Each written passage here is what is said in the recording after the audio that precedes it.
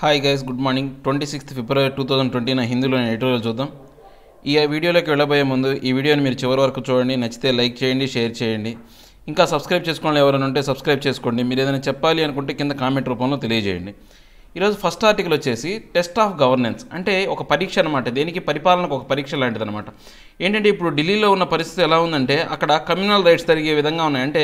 మతపరమైన అంటే మతపరమైన హింస చెలరేగే విధమైన పరిస్థితులు అనేవి అక్కడ ఏర్పడ్డాయి అనమాట సో దానికి సంబంధించిన ఆర్టికల్ అండి the police must clamp down on the communal violence in Delhi ఏదైతే ఇక్కడ మతపరమైన హింస ఏదైతే ఉందో దాన్ని పోలీసులు అదుపు చేయాలి అని చెప్తున్నారు క్లాంప్ అంటే ఏంటంటే అదుపు చేయు ఓకే ఈ ఆర్టికల్లోకి వెళ్ళబోయే ఉందో దీంట్లో ఉన్న డిఫికల్టీ వర్డ్స్ని మనం ఒకసారి చూద్దాం ఈ యొక్క డిఫికల్టీ వర్డ్స్ అండి నేను కింద డిస్క్రిప్షన్ రూపంలో లింక్ ఒకటి ఇస్తానండి మీరు ఖచ్చితంగా ఆ డిస్క్రిప్షన్లో లింక్ని డౌన్లోడ్ చేసుకొని ఈ వీడియో చూడబోయే ముందు కానీ పేపర్ చదవబోయే ముందు కానీ ఒకసారి డిఫికల్టీ వర్డ్స్ మీరు ఒకసారి చెక్ చేసుకున్న తర్వాత మీరు పేపర్ చదివినా లేదా వీడియో చూసినా కానీ మీకు ఈజీగా అర్థమవుతుంది దాంతోపాటు నేను కింద ఈ పేపర్ను కూడా ప్రొవైడ్ చేస్తున్నాను డిస్క్రిప్షన్లోనే ఈ పేపర్ లింక్ కూడా ప్రొవైడ్ చేస్తాను నేను రెండు లింకులు పెడుతున్నానండి మీరు రెండు లింకుల్లో చెక్ చేసుకోండి ఏ లింకులో డౌన్లోడ్ అయితే ఫస్ట్ ఒక లింక్ ప్రెస్ చేయండి దాంట్లో డౌన్లోడ్ అవ్వకపోతే సెకండ్ లింక్లో మస్ట్గా డౌన్లోడ్ అవుతుంది ఏదో ఒక లింక్లో మాత్రం ఖచ్చితంగా డౌన్లోడ్ అవుతుంది చాలామంది మీరు ఏ యాప్ ద్వారా హిందూ పేపర్ని తీసుకుంటున్నారని అడుగుతున్నారు నేను ఏ యాప్ వాడట్లేదండి నేను ఆల్రెడీ సబ్స్క్రిప్షన్ కట్టాను అంటే ఇయర్లీ సబ్స్క్రిప్షన్ కట్టాను సో నా సబ్స్క్రిప్షన్ ద్వారా నాకు వచ్చిన పేపర్ని మీ అందరికీ షేర్ చేస్తున్నాను ఏ యాప్లు అయితే లేవు డౌన్లోడ్ చేసుకోవడానికి యాప్లు అయితే ఏం లేవు ఇలా ఎవరైనా సబ్స్క్రిప్షన్ కడితే వాళ్ళ ద్వారా ట్రాన్స్ఫర్ అవ్వడం మాత్రమే షేర్ చేసుకోవచ్చు అంతే మాత్రం అంతవరకే అది కూడా ఆథరైజ్డ్ ఏం కాదు లీగల్ ఏం కాదు వాళ్ళు అలా చవ ఇవ్వకూడదు అంటారు సో మన యొక్క వ్యూవర్స్ కోసం మన ఛానల్ వాళ్ళ కోసం మాత్రం నేను పెడుతున్నాను అనమాట ఓకే ఇక మనం డిఫికల్టీ వర్డ్స్ చూస్తే క్లాంప్ ఫాస్టనర్ హోల్డ్ ఫాస్ట్ అదుపు వీల్డ్ హోల్డ్ హ్యాండిల్ పట్టుకొను ఓఫుల్ శాడ్ అన్హ్యాపీ బాధ ఇన్ఎడిక్వేట్ ఇన్సఫిషియంట్ సరిపోని అవుట్ రేజియస్ డిస్గ్రేస్ఫుల్ దారుణమైన అబ్రప్ట్ సడన్ క్విక్ ఆకస్మిక ఇరప్ట్ బ్రేక్అవుట్ పేలు ఆర్సన్ పైరమోనియా ఫైర్ బాంబింగ్ దహనము ఇండిస్క్రిమినేట్లీ అన్సిస్టమేటికల్లీ ర్యాండమ్లీ విచక్షణారహితంగా unleash free release విడిపించు smouldering the process of burning with smoke but no flame conflagration fire blaze దావానలం chaos disaster disorder గందరగోళం incitement persuasion motivation ప్రేరణ consent agreement assent ఆమోదం తెలుపు polarisation division into two రెండుగా విడగొట్టుట cue signal sign సైగా cauldron జ్యోతి conspiracy collusion intrigue కుట్ర shallow simplistic over simplified సరళమైన collusion conspiracy కంట్రిగ్యూ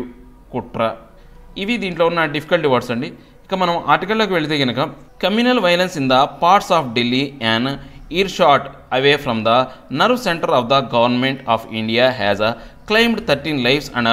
left over one fifty injured అంటే ఇప్పుడు ఈ కమిలన్ వైలెన్స్ ఈ మతపరమైన హింస అనేది ఢిల్లీకి చాలా దగ్గరలో ఏదైతే ఇయర్ షాట్ అంటే మన చెవికి వినపడేంత దగ్గరలో అనమాట చెవికి వినపడే సౌండ్ ఎంత దగ్గరలో ఉంటుందో అంత దగ్గరలో ఉన్న నర్వ్ సెంటర్ అనమాట అంటే ప్రపంచాన్ని భారతదేశాన్ని మొత్తానికి పరిపాలన అందించే ఈ నర్వ్ సెంటర్ అయిన ప్రదేశంలోనే అంటే చాలా వినపడేంత దగ్గరలో ఉన్న ప్రదేశంలోనే ఈ యొక్క హింస జరుగుతుందనమాట ఈ హింసలో పదమూడు మంది చనిపోయారు నూట యాభై మందికి పైగా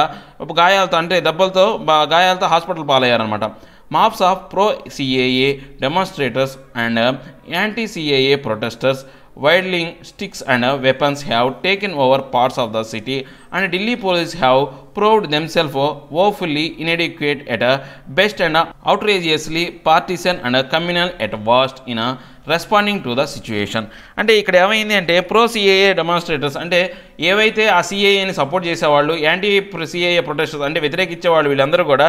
ఆ వైల్డింగ్ అంటే కర్రలు చేతిలో పట్టుకొని వెపన్స్ చేతిలో పట్టుకొని ఆ సిటీలోకి వచ్చి గొడవకు దిగారనమాట పోలీసులు మాత్రం వాళ్ళు ఏం చేయలేపారు వాళ్ళ సిచ్యువేషన్ అంటే వాళ్ళు ఆ సిచ్యువేషన్ కంట్రోల్ చేయలేకుండా ఆ దారుణమైన పరిస్థితిని కంట్రోల్ చేయకుండా వాళ్ళు బాధగా అక్కడ చూస్తూ ఉండిపోయారనమాట అంతేనమాట ఏమీ ఆ సిచ్యువేషన్కి ఎటువంటి రెస్పాండ్ అవ్వలేదు was nothing nothing or unexpected about the violence that that in the cities north eastern parts on Monday అంటే ఇప్పుడు మనం ఇక్కడ దీని గురించి మనం ఎక్కువగా ఆలోచించాల్సింది కానీ ఒక్కసారిగా అంటే ఇది నథింగ్ అబ్రప్ట్ ఆకస్మికంగా అబ్రప్ట్ అంటే ఆకస్మికంగా కానీ లేకపోతే అన్ఎక్స్పెక్టెడ్ అంటే మనకు తెలియకుండా జరిగిన వైలెన్స్ ఏం కాదనమాట ఇది మామూలుగా అందరూ ఊహిస్తున్నదే నార్త్ ఈస్టర్న్ పార్ట్స్ ఆఫ్లో జరుగుతున్న ఈ యొక్క మండే రోజు జరిగిన ఈ హింస అనేది అందరూ ఊహించినదే అయినప్పటికీ ఊహించిందే అది ఎవరు ఆకస్మికంగా జరిగిందేం కాదు this has been in the making for weeks అంటే ఇది ఈ గొడవ అనేది ఒక కొన్ని వారాల నుంచి అనమాట there was arson and violence on December sixteen in areas around the Jamia Millia Islamia to which the police responded by indiscriminately unleashing violence on the students inside the university ఎప్పుడైతే డిసెంబర్ పదహారో తారీఖున ఒక పెద్ద అంటే ఒక bomb పేలుడు అగ్నిపాతం లాగా ఒక బాంబు పేలుడు బ్లోట్ లాగా ఏం జరిగింది అంటే ఒక దహనం లాగా ఏం జరిగిందంటే అక్కడ వైలెన్స్ అనేది జరిగింది ఎక్కడ జమియా మిల్లిమా ఇస్లామియా అనే యూనివర్సిటీలో ఈ పోలీసులు ఏం చేశారంటే విచక్షణ రహితంగా ఇండిస్క్రిమినేట్లు అంటే విచక్షణ రహితంగా అన్లీషింగ్ అంటే ఫ్రీగా అని అంటే వదిలిపెట్టారనమాట ఆ వైలెన్స్ని ఫ్రీగా వదిలేశారు ఆ యూనివర్సిటీలో సో సో అక్కడ అంతా హింసకు గురి చేశారనమాట అక్కడ స్టూడెంట్స్ అందరినీ కొట్టడం అలాంటి పనులు చేశారనమాట అప్పటి నుంచి ఈ యొక్క ప్రాబ్లం అనేది స్టార్ట్ అయింది a group of masked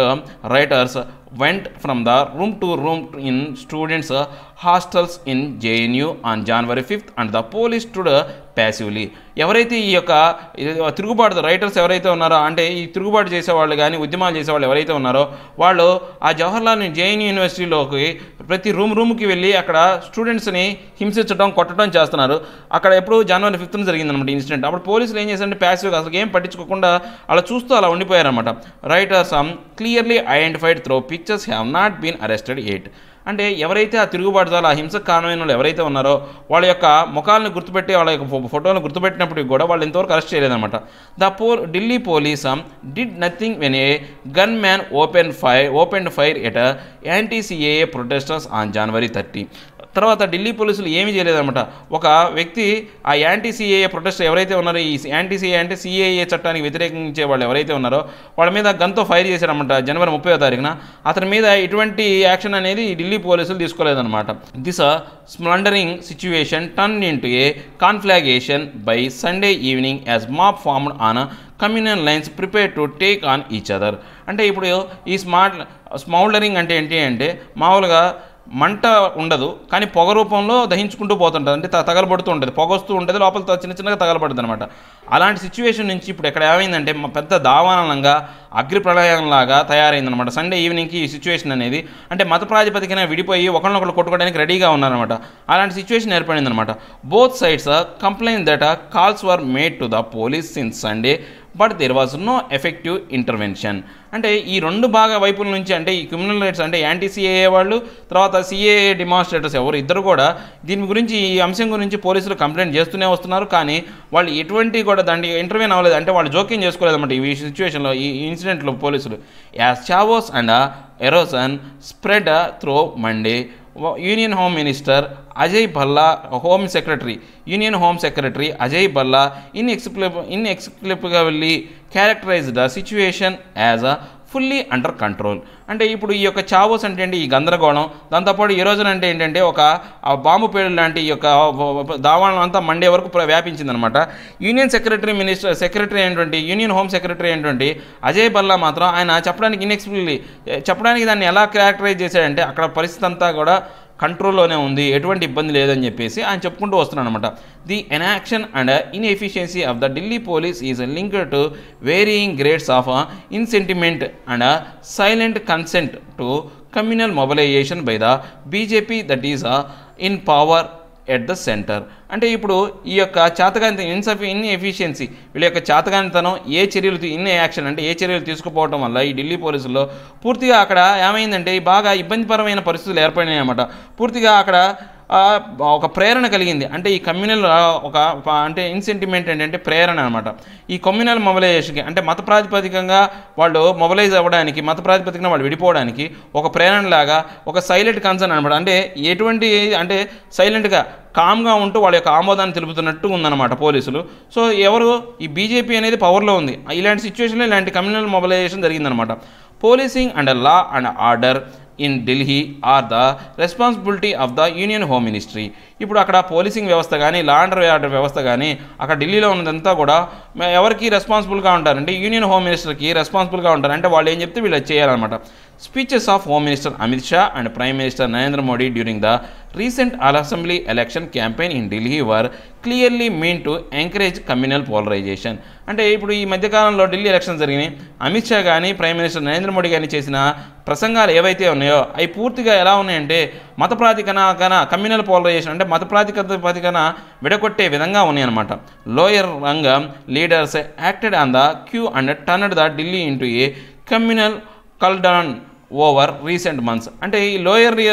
అంటే తక్కువ స్థాయిలో ఉన్న లీడర్లు అందరూ కూడా ఇక్కడ ఏం చేస్తున్నారు అంటే ఆ యొక్క ఢిల్లీలో ఏం చేశారు మత ప్రాతిపదికన ఆ జ్వాలను అంటే కల్డర్న్ అన్నట్టు ఒక జ్యోతిని వెలిగించారనమాట అక్కడ ఉన్న పరిస్థితి ఇప్పుడున్న రీసెంట్ మనుషులు ఈ మధ్యకాలంలో అక్కడ మత ప్రాతిపదికనే విడగొట్టే విధంగా అంటే మతాన్ని ప్రోత్సహించే విధంగా వాళ్ళ యొక్క వాళ్ళు చేస్తున్న పనులు ఉన్నాయన్నమాట union minister of state for home G Kishan Reddy's statement that the Delhi violence is కాన్స్పరెంటీ conspiracy to shame India globally during US president Donald Trump visit is beside the point అప్పుడు union union minister of state home అనే హోమ్కి సంబంధించిన G Kishan Reddy అనే తెలంగాణ నాయకుడు అనమాట ఈయన ఏం చెప్పాడంటే ఇప్పుడు ఢిల్లీలో జరుగుతున్న ఈ యొక్క గొడవ ఏదైతే ఉందో అది ఒక కుట్ర దేనికోసం భారతదేశాన్ని ప్రపంచం ముందు ఒక దోషిగా నిలబెట్టడానికి లేకపోతే భారతదేశం యొక్క పరువు తీయడానికి ఎందుకని యుఎస్ ప్రెసిడెంట్ డొనాల్డ్ ట్రంప్ అనే అతను మన భారతదేశానికి విజిట్ వస్తున్నాడు కాబట్టి ఆ పాయింట్ బేస్ మీద మన భారతదేశాన్ని ప్రపంచం ముందు ఒక దోషిగా చిత్రీకరించడానికి లేకపోతే పరువు తీయడానికి చేసిన కుట్ర అని చెప్పేసి ఆయన ఒక స్టేట్మెంట్ ఇచ్చాడనమాట the unfailing efficiency claimed by those who control the central and state government in Delhi will be proven shallow if uh, they cannot uh, enforce elementary law and uh, order right under their noise. అంటే ఇప్పుడు మనం కనుక చూసుకుంటే ఇక్కడున్న పరిస్థితులకి పూర్తిగా ఇలా తగ్గిపోవడానికి కారణం ఏంటి అంటే అక్కడ ఉన్న పరిస్థితులు సరళం చేయకుండా ఇంకా క్లష్టతరం చేశారనమాట ఇంకా గొడవ ప్రేరేపించే విధంగా అంటే ఫస్ట్లో ఉన్నప్పుడే గొడవను కంట్రోల్ చేయకుండా దాన్ని గొడవను ప్రేరేపించే విధంగా చేశారనమాట communal violence any time anywhere happens only due to the inefficiency or collusion or both of this in power అంటే ఇప్పుడు ఈ కమ్యూనల్ వైలెన్స్ అంటే ఈ మతపరమైన మత ప్రాతిపదికమైన హింస అనేది ఎప్పుడు జరుగుతుందంటే తన వల్ల ఇన్ఎఫిషియన్సీ అంటే సరిగా చేయలేని పని వల్ల కానీ లేకపోతే కొల్యూషన్ కుట్రల వల్ల లోపల లోపల వల్ల కానీ ఈ లేకపోతే ఈ రెండింటి కారణాల వల్ల ఈ కమ్యూనల్ వైలెన్స్ అనేది వస్తుందన్నమాట the prime minister and Delhi chief minister Anand Kejriwal must prove their efficiency and administrative skills by clamping down the down on violence whatever it takes అంటే ఇప్పుడు ఈ యొక్క మన యొక్క ప్రధానమంత్రి కావచ్చు లేకపోతే అరవింద్ కేజ్రీవాల్ అవి ఉండొచ్చు వీళ్ళు వాళ్ళు ప్రూవ్ చేసుకోవాలి వాళ్ళ యొక్క సమర్థతను ప్రూవ్ చేసుకోవాలి ఎట్లాగా వాళ్ళ యొక్క అడ్మిషన్ పరిపాలనలో ఉన్న వాళ్ళ యొక్క నైపుణ్యాన్ని చూపించి ఈ పరిస్థితిని పూర్తిగా అదుపు చేసి ఈ వైలెన్స్ని అదుపు చేసి whatever it it takes అంటే అది ఎటువంటి యాక్షన్ అయినా వాళ్ళు తీసుకొని అది కంట్రోల్ చేసే విధంగా చేయాలి అని చెప్తున్నారు అనమాట తర్వాత క్రైసిస్ ఇన్ మలేషియా మలేషియాలో సంక్షోభం ఏర్పడింది రాజకీయ సంక్షోభం ఏర్పడింది a power hungry Mahathir Hazam pushed Malaysia toward political instability అంటే ఇప్పుడు పవర్ హంగ్రీ అంటే ధనదాహం అంటారు చూసారా ధనదాహం ఉన్నటువంటి మహాతిర్ అనే వ్యక్తి ఏం చేశాడంటే ఈ మలేషియాని పొలిటికల్గా అస్ అస్థిరత్వం అంటే రాజకీయంగా అస్థిరత్వానికి గురి చేశాడు అంటే ఆయన రిజైన్ చేశాడు అనడం ఆయన యొక్క పదవికి ఆయన రాజీనామా చేయడం వల్ల ఏమైందంటే ప్రైమ్ మినిస్టర్ పదవికి ఆయన రాజీనామా చేయడం వల్ల అక్కడ రాజకీయంగా అస్థిరత అనేది ఏర్పడింది ఓకే దీంట్లో కలబోయే ముందు దీంట్లో ఉన్న డిఫికల్ట్ వర్డ్స్ మనం ఒకసారి చూద్దాం క్రైసిస్ కెటస్ట్రోఫీ కలామిటీ సంక్షోభము ఇన్స్టెబిలిటీ టర్బోలెన్స్ టర్బోల్స్ అస్థిరత్వము అబ్రప్ట్ సడన్ క్విక్ ఆకస్మిక ట్రిగ్గర్ యాక్టివ్ మొదలుపెట్టు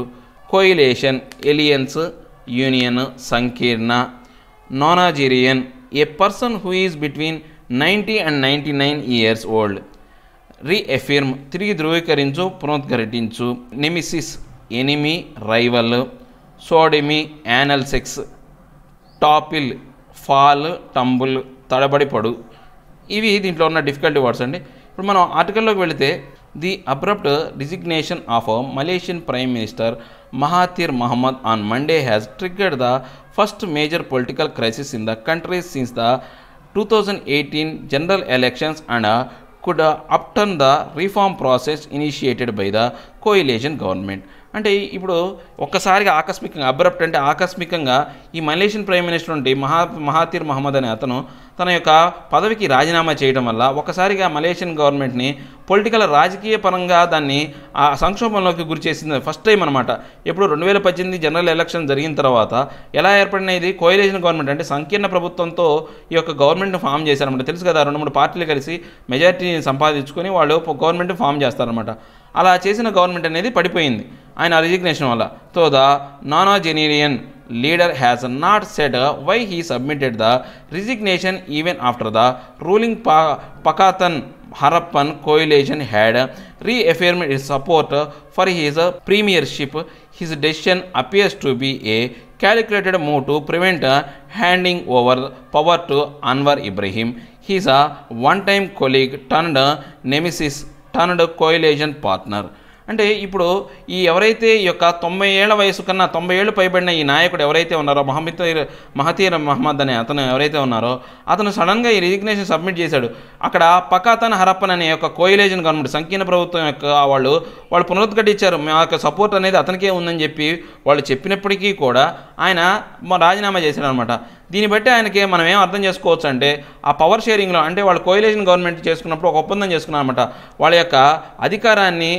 పంచుకునే విధంగా అంటే ఇక అన్వర్ ఇబ్రహీం అనే అతను ఇతని అధికారాన్ని పంచుకునే విధంగా వాళ్ళు షేరింగ్ చేసుకున్నారన్నమాట ఇప్పుడు ఏం చేశాడు ఈయన టర్న్ వరకు ఉండి అన్వర్ అబ్రహీంకి ఎప్పుడైతే పదవిని ఆయనకు అప్పచెప్పాలో ఆ టయానికి వచ్చేసరికి పూర్తిగా గవర్నమెంట్ని కొలాప్స్ చేశారన్నమాట అంటే ఆయన యొక్క పదవిని అన్వర్ మహా ఇబ్రహీంకి ఇవ్వటం ఇష్టం లేదనమాట ఈ అన్వర్ ఇబ్రహీం ఎవరంటే ఒకప్పుడు కొలీగ్ అతనికి అతనికి కొలీగ్ ఆ తర్వాత ఏమయ్యాడంటే అతనికి ఒక శత్రువు అయ్యాడు ఆ తర్వాత కోయిలేజన్ పార్ట్నర్ ఇప్పుడు ఏమయ్యాడంటే ఈ సంకీర్ణ ప్రభుత్వంలో ఒక భాగస్వామి అయ్యాడనమాట mister Mahathir who was in power from nineteen eighty one to two thousand three and mister Anwar who had once served in mister Mahathir's cabinet until he was jailed for sodomy in the late nineteen nineties joined hands prior to the two thousand eighteen elections to take on the Malay nationalist united Malay మెలేసా national organisation UMNO which had ruled the country for six decades అంటే ఇప్పుడు ఈ యొక్క మహాతీర్ ఏమైందంటే పంతొమ్మిది వందల ఎనభై ఒకటి నుంచి రెండు వేల మూడు వరకు ఈయన యొక్క అధికారంలో కొనసాగాడనమాట ఈ మిస్టర్ అన్వర్ ఇబ్రహీం అనే అతను ఏం చేశాడంటే ఒకప్పుడు మహాతీర్ గవర్నమెంట్లో క్యాబినెట్ మినిస్టర్గా ఆయన ఉండేవాడు అనమాట ఆయన క్యాబినెట్లో ఆయన పనిచేశాడు ఎప్పటి వరకు పనిచేశాడు ఆయన జైల్లో పెట్టారంట సోడిమీ అంటే ఏంటంటే యానల్ సెక్స్ అంటే మనకు తెలుసు కదా అది అన్యూజువల్ సెక్స్ అనమాట ముస్లిమ్స్ యొక్క లెక్క ప్రకారం ఏంటంటే ఆ యానల్ సెక్స్ అనేది వాళ్ళకు ఒక నేరం అనమాట ఆ నేరం కింద అతన్ని పంతొమ్మిది వందల తొంభైలో జైలుకి జైల్లో పడేశారనమాట ఆ తర్వాత ఏమైంది ఆయన రెండు వేల పద్దెనిమిదిలో మళ్ళీ ఈ మహమతీర్ మహమ్మద్తో ఈ మహతీర్తో కలిసి మహమ్మద్తో కలిసి ఈ కోయిలేజన్ గవర్నమెంట్ని ఫామ్ చేశాడు ఏంటిది యునైటెడ్ మలేషియా నేషనల్ ఆర్గనైజేషన్ అనే దాన్ని గవర్నమెంట్లో ఫామ్ చేశాడు ఇది ఆరు దశాబ్దాలుగా అక్కడ పరిపాలన కొనసాగిస్తూ ఉందన్నమాట the Pakatan Harapan coalition consisting of nationalist central and and Chinese parties represented the diversities of the Malaysian society and promised voters a pluralistic corruption free government అంటే ఇప్పుడు ఈ పక్కతన హరప్పన్ కోయిలేషన్ గవర్నమెంట్లో ఏవే భాగాలు ఉన్నాయంటే నేషనలిస్ట్ వాళ్ళు సెంట్రిస్ట్ వాళ్ళు దాంతోపాటు ఎథనిక్ చైనీస్ అంటే ఎథనిక్ అంటే అంటే జాతిపరంగా వాళ్ళు చైనా చెందిన జాతి వాళ్ళు అయినటువంటి ఒక పార్టీ ఏదైతే ఉందో వాళ్ళ యొక్క ఆ యొక్క కలయిక వల్ల ఏర్పడిన ఇదే ఈ కోయిలేషన్ గవర్నమెంట్ అనమాట దీన్ని బట్టి అక్కడ మలేషియాలో రకరకాల వాళ్ళు అంటే ప్లోరలిస్టిక్ అనమాట అంటే చాలామంది మతాల వాళ్ళు అక్కడ జీవిస్తున్నారని చెప్పడానికి అర్థం పట్టే విధంగా దాంతోపాటు కరప్షన్ ఫ్రీ గవర్నమెంట్ని ఇచ్చే విధంగా ఆ యొక్క కోయిలేజన్ అనేది ఫామ్ అయిందనమాట after the surprise victory mister Mahathir became the prime minister again but with support from both mister Anwar's people's justice party and the democratic action party అంటే ఇప్పుడు మహాతీర్ అనే అతను మళ్ళీ ప్రైమ్ మినిస్టర్ అయ్యాడు అనమాట ఎవరు సపోర్ట్తో అంటే పీపుల్స్ అన్వర్స్ పార్టీకి చెందిన జస్టిస్ పార్టీ వాళ్ళకి తర్వాత డెమోక్రటిక్ యాక్షన్ పార్టీకి సంబంధించిన వాళ్ళతో కలిసి ఆయన గవర్నమెంట్ని ఫామ్ చేశాడనమాట వాళ్ళతో వాళ్ళ యొక్క సంకీర్ణంతో the understanding mister Mahathir would form the government and hand over power to mister Anwar later దీని ప్రకారం ఈ యొక్క కోయిలేషన్ గవర్నమెంట్లోని అగ్రిమెంట్ ప్రకారం ఏంటి అంటే ఫస్ట్ ప్రైమ్ మినిస్టర్గా మాతీర్ అవుతాడు ఆ తర్వాత ఏం చేశాడంటే ప్రామిస్ ఏంటంటే వాళ్ళు అనుకున్నది ఏంటంటే ఆ కొంతకాలం పరిపాలించిన తర్వాత ఒక రెండున్నర సంవత్సరాలు అలా పరిపాలించిన తర్వాత అన్వర్కి ఆ పదవిని అప్పజెప్పే విధంగా వాళ్ళ యొక్క అగ్రిమెంట్ అనేది జరిగిందనమాట the source of the crisis is this a delicate power sharing deal అసలు ఇక్కడ ఈ యొక్క ఏంటి కారణం ఏంటి అంటే ఈ సంక్షోభానికి కారణం ఏంటంటే ఈ యొక్క అధికారాన్ని మార్పిడిలోనే ఉందన్నమాట Mr. Mahathir refused to give a fair commitment or a timeline to hand over power to Mr. Anwar despite a request from the latter party. అంటే అసలు ఈ మహాతీర్ అనే అతను పూర్తిగా వ్యతిరేకించాడు ఈ అన్వర్కి తన యొక్క అధికారాన్ని బదిలీ చేయడానికి ఇష్టపడలేదన్నమాట చాలా కాలం నుంచి అతనికి మీద ఒత్తిడి వస్తూనే ఉంది సో అతను ఇష్టపడలేదనమాట the coalition was a troubled as a rival bloc within on mister Anwar's party had accused him of trying to topple mister Mahathir అంటే ఇప్పుడు ఈ కౌలేజన్లో వాళ్ళు ఏం చెప్పారంటే ఈ యొక్క అన్వర్ అనే అతను పొదుస్మాన్ నన్ను ట్యాపిల్ అంటే ఇబ్బంది పెడుతున్నాడు అంటే ఇబ్బంది పెడుతున్నాడు అధికారం కావాలని చెప్పేసి ఈ మహతీర్ అనే అతను చెప్తూ వస్తున్నాడు అనమాట as the crisis of worse and Mr Mahathir announce his resignation and his party the Malaysian United Indigenous Party quit the coalition అంటే ఇప్పుడు ఈ ఇంకా బాగా అంటే ఈ యొక్క బాగా ఈ సంక్షోభం అనేది ముదిరిన తర్వాత మహతీర్ ఏం చేశాడంటే ఆయన అనౌన్స్ చేశాడు ఆయన రిజిగ్నేషన్ అంటే రాజీనామాని అనౌన్స్ చేశాడు అనమాట దానివల్ల మలేషియన్ నేషనల్ ఇండిజీనియస్ పార్టీ ఆ యొక్క కోయిలేషన్లో నుంచి బయటకు వచ్చిందనమాట ఇది ఈ యొక్క ఇందాక చెప్పుకున్నాం కదా ఆ కోయిలేషన్ నుంచి బయటకు వచ్చింది పకాటన్ హరప్పన్ కోయిలేషన్ నుంచి బయటకు వచ్చింది so in effect the Pakatan హప Harapan Harapan has um collapsed so ఈ యొక్క కారణం వల్ల ఆయన బయటికి రావడం వల్ల ఈ ఏదైతే ఈ సంకీర్ణ ప్రభుత్వం అనేది పూర్తిగా కూలిపోయిందనమాట it is not clear what the next moves of mister Mahathir and mister Anwar will be neither of them has a majority on their own అంటే ఇప్పుడు నెక్స్ట్ వాళ్ళు ఏ స్టెప్ వేస్తారో ఏం చేస్తారో ఈ మహతీర్ కానీ అన్వర్ కానీ ఏం చేస్తారో అనేది ఎవరికి తెలియదు అనమాట వాళ్ళిద్దరికీ అక్కడ అసెంబ్లీలో గవర్నమెంట్ని ఫామ్ చేసే బలం లేదనమాట ఈ new coalition will need one twelve seats for a majority in the two triple two member parliament అంటే ఇప్పుడు మనకు మెజార్టీ రావాలంటే మొత్తం రెండు వందల ఇరవై రెండు మంది మెంబర్లు ఉన్న ఆ పార్లమెంట్లో నూట పన్నెండు స్థానాలు అనేవి ఆ కోయిలేజన్కి అనేది కావాలన్నమాట mister Mahathir party has a only twenty six lawmakers ఈ మహతీర్ పార్టీకి ఓన్లీ కేవలం ఇరవై ఆరు మంది మాత్రమే ఆ చట్టసభల్లో ఉన్న వాళ్ళు ఉన్నారనమాట mister Anwar party has had one fifty seats in two thousand eighteen but it is not clear now whether he has the support of the all his party lawmakers కానీ ఈ యొక్క అన్వర్కి మాత్రం యాభై మంది రెండు వేల పద్దెనిమిదిలో అతని పార్టీ తరపున యాభై మంది గెలిచినప్పటికీ కూడా ఇప్పటికి మాత్రం డౌట్ అనమాట క్లియర్టీ క్లారిటీ లేదు ఆ యాభై మంది అతనికి సపోర్ట్ చేస్తారా లేదా అనేది ఆ లెవెన్ మేకర్స్ యాభై మంది అతను సపోర్ట్ చేస్తారా అనేది డౌట్ అనమాట this means Malaysia is expected to see some deputy politics fight in the coming days అంటే దీన్ని బట్టి మనం చెప్పు చూసి ఏం చెప్పొచ్చు అంటే రాబోయే కాలంలో మలేషియా అనేది ఒక నీచమైన రాజకీయాల్ని అవలంబించే విధంగా వ్యవహరించవచ్చు అని చెప్పొచ్చు అనమాట and if neither side manages to win a majority the country will go to the polls ఇప్పుడు ఈ రెండు సైడ్ల నుంచి వాళ్ళు కనుక మెజారిటీని సంపాదించుకోలేకపోతే ఇంకా ఆ దేశం అనేది మళ్ళీ ఎలక్షన్లో పోవాల్సిందే దిస్ క్రైసిస్ కూడా have been avoided had the Pakatan Harapan leaders lived up to the promises they made to themselves and to the voters అంటే ఈ యొక్క క్రైసిస్ కారణం ఏంటి అంటే ఈ పకాతన్ హరప్పన్ సంబంధించిన లీడర్స్ ఎవరైతే ఉన్నారో వాళ్ళ యొక్క ప్రమాణాలను బ్రేక్ చేసి అంటే వాళ్ళకి వాళ్ళే బయటకు రావడం వల్ల ఆ ఓటర్స్ యొక్క చేసిన నమ్మకాన్ని కూడా కోల్పోయిందనమాట వాళ్ళ ప్రామి ప్రామిస్ని బయట బయటికి రావడం ప్రామిస్ని బ్రేక్ చేసి బయటికి రావడం వల్ల ఇలాంటి పరిస్థితి ఏర్పడింది ఈ సంక్షోభం ఏర్పడింది the coalition government had a promising beginning with a wider representation of um, minority groups and it's a uh, bid to root out corruption in the country that is uh, a aid to recover from the 1 MB, MDB scandal అంటే ఇప్పుడు ఈ coalition government ఏం promise చేసి form చేసిందంటే వాళ్ళు పూర్తిగా మేము పూర్తిగా వైడర్ రిప్రజెంటేషన్ ఇస్తాము మైనారిటీ గ్రూప్స్ ఎవరైతే ఉన్నారో మలేషియాలో వాళ్ళ యొక్క అభివృద్ధికి పాటుపడతాము వాళ్ళని కాపాడే విధంగా కరప్షన్ లేని దేశంగా ఏదైతే వన్ ఎండి అనే అంటే మలేషియన్ డెవలప్మెంట్ ఆమ్ బారాడ్ అనే ఈ యొక్క ఏదైతే ఒక వన్ ఎం ఎండిబి అనే దాంట్లో ఏదైతే జరిగిన అవకతవకల్ని మేము ఆ శాండిల్ని పూర్తిగా దానిలోని నిజాలను బయటపెట్టి దాన్ని పరిష్కరిస్తామని చెప్పి వాళ్ళు గవర్నమెంట్ ఫాలో చేశారనమాట ideally Mister Mahathir should have honoured the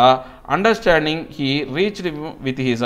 partners and allowed the coalition to complete its అను కానీ ఇప్పుడు ఆ తర్వాత ఏమైంది మహతీర్ అనే అతను ఆ యొక్క ఆయన్ని ప్రైమ్ మినిస్టర్గా ఆయన పదవిని ఇచ్చి ఆయన గౌరవం ఇచ్చి ఆయన పార్ట్నర్స్ అందరూ ఆయన ఎలౌ చేశారంట ఆయన యొక్క పరిపాలనా కాలం వరకు ఆయన్ని అందరూ సపోర్ట్ చేశారు but it does not seem to be his priority more కానీ ఇప్పుడు ఆయన ఏంటి ఆయన ప్రయారిటీ అనేది వాళ్ళకి ఇవ్వదలుచుకోలేదు అంటే ఇన్నాళ్ళు వాళ్ళ సపోర్ట్ ఇచ్చిన వాళ్ళకి ఆయన సపోర్ట్ ఇవ్వకుండా ఆయన బయటకు వచ్చేసాడు అని చెప్తున్నాను అనమాట ఈవెంట్ ఈరోజు నా రెండు ఆర్టికల్స్ పార్ట్ టూని కూడా నేను మరి కొంతసేపట్లో అప్లో అప్లోడ్ చేస్తానండి చూడండి మీ నా ఈ ఎక్స్ప్లెనేషన్ మీకు నచ్చినట్లయితే లైక్ చేయండి షేర్ చేయండి సబ్స్క్రైబ్ చేయడం మాత్రం మర్చిపోకండి thank you thank you very much